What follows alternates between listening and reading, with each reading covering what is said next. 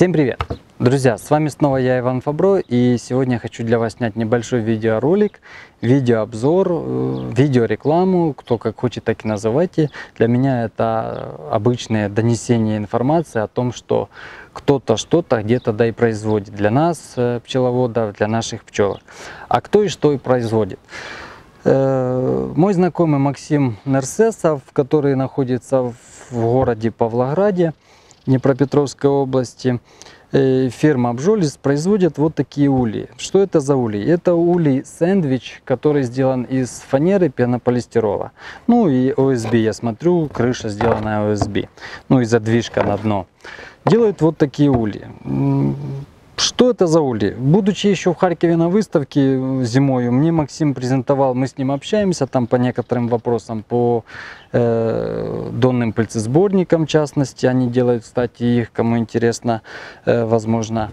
Э, мы э, общаемся по поводу донных пыльцесборников, и как бы он в дар презентовал мне, будучи на выставке, вот свой улей, чтобы ну, подарил, и чтобы я посмотрел, как бы, ну, я думаю, чистого сердца. Не для рекламы, не для видео, как многие подумают, а просто так.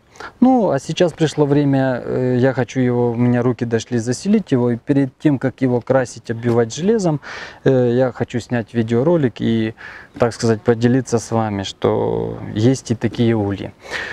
Улицам сделан, вот начну с крыши, из крышка с ОСБ, э, дерево и внутри пенополистирол проклеенный.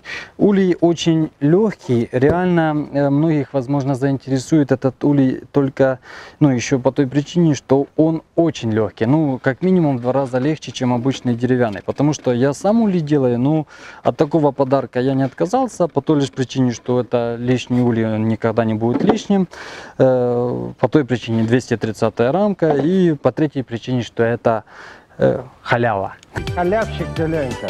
Я не халявщик, я партнер.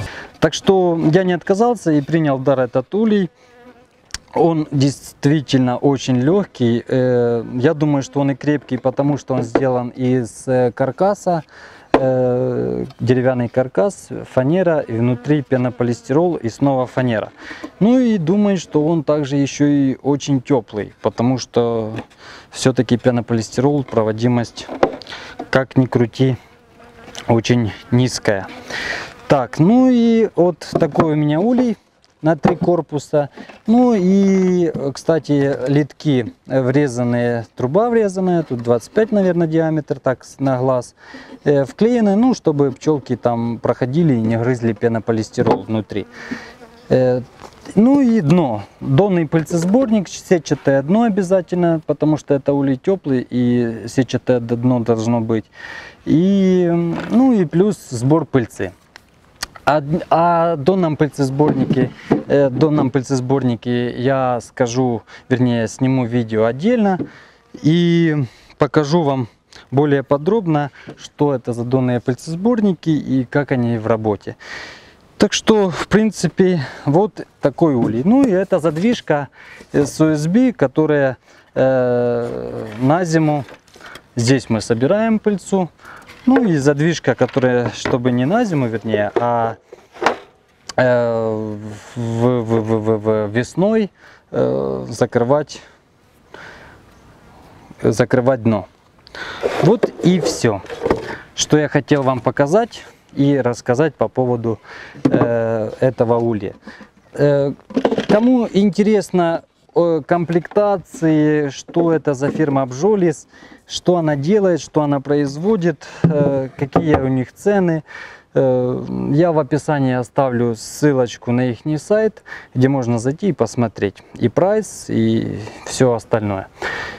Ну, а теперь что мне остается? Покрасить его и обить крышу железом. Ну и заселить сюда я планирую заселить сюда именно чистопородную маточку карники. Ну и будем смотреть, собирать пыльцу и смотреть, что с этого получится. Все, друзья, с вами был Иван Фабро и Улья фермы Бжолис. Пока!